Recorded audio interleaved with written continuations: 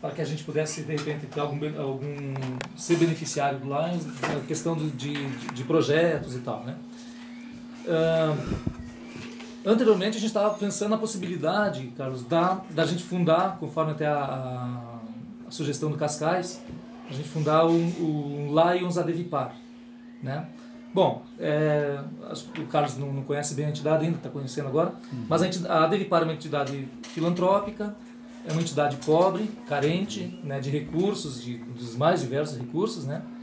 É, e aí que eu queria, queria ver essa é, é, uma, uma, uma, ter informações melhores sobre isso, né? Tá. E, uh, em que implicaria, é, a, digamos, essa a, fundação de um, de um Lions Adevipar, né? De repente, uhum. o que, quais seriam as, os atributos, as atribuições da Adevipar, o, enfim, né? Certo. Bom, vamos discorrer um pouco então sobre essa, essa, essa ideia. O Cascais já tinha conversado comigo também a respeito, e é, o que eu posso trazer aqui de, de, é informação sobre como é que funciona a administrativa Lions. Né? Uhum. Porque o Lions, Lions Club, eu sempre digo por aí, são, são duas coisas. Né?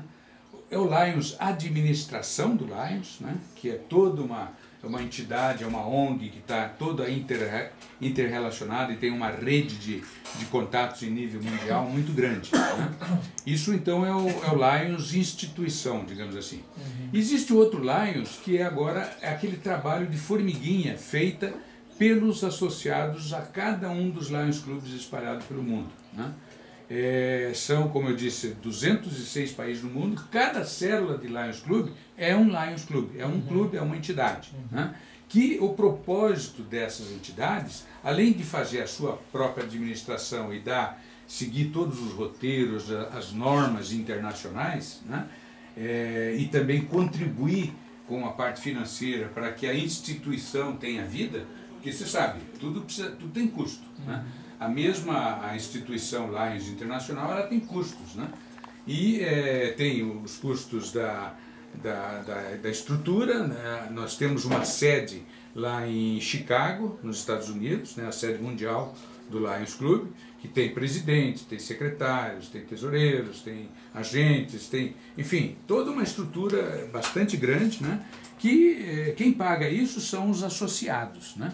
Então, como é que o Lions Internacional fez a coisa para dividir, e já que são 1 milhão e 400 mil associados no mundo, cada um desses associados paga uma taxa. Uhum. Né? Tem uma taxa semestral, né?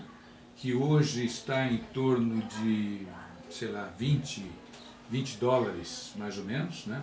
por, por associado, né? que é pago diretamente para a Lions Internacional. Então tem uma taxa de 20 dólares por semestre. E existe também para o funcionamento. Isso por pessoa, né? Por pessoa, por pessoa, por associado, digamos assim. É, só, só, só uma perguntinha. Uhum. Rotary e Lions andam juntos ou não? É, são, são entidades são é, semelhantes, né? A gente faz parcerias em inúmeras coisas, mas são entidades independentes. Uma é muito parecida com a outra.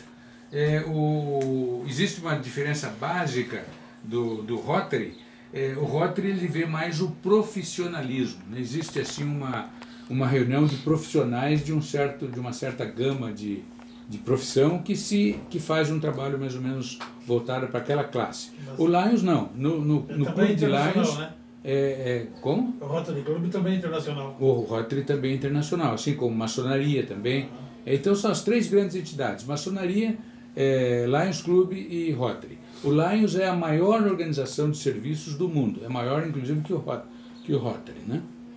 E... Agora vejam bem, o que o Carlos quer dizer também é o seguinte: não há necessidade da Devipar formar um Lions Club. Não precisa. Isso não, não de modo algum vai inibir o nosso apoio a vocês. Quer dizer, vocês contam conosco independente, independentemente de qualquer coisa. Claro. Lógico, se eh, vocês, uma fração, sei lá, uma parte de vocês disser, olha, nós temos interesse, temos mais gente aí que quer formar um clube, né? Para nós vai ser uma honra, vai ser uma coisa boa, porque formaliza, vamos dizer assim, aparece com o nome que vocês quiserem essa organização aqui em Curitiba no universo Lions. Né? Agora, como tem sido até agora e vai continuar sendo, vocês podem contar conosco, né? é porque a visão que nós temos da Devipar é que é uma entidade séria que trabalha e que é, dá prazer em ajudar. Em Cascais, digamos que a Devipar, então, é, que, que, a gente decidisse então que, que a Devipar formaria esse Clube Lions, por exemplo. É, isso é, traria, traria como consequência o que em, em termos Então, de isso- benefícios para a Isso Devipar? eu, eu gostaria de, de- de continuar então Tá, a- a- isso. só Uhum. daquele ponto que eu, que eu parei.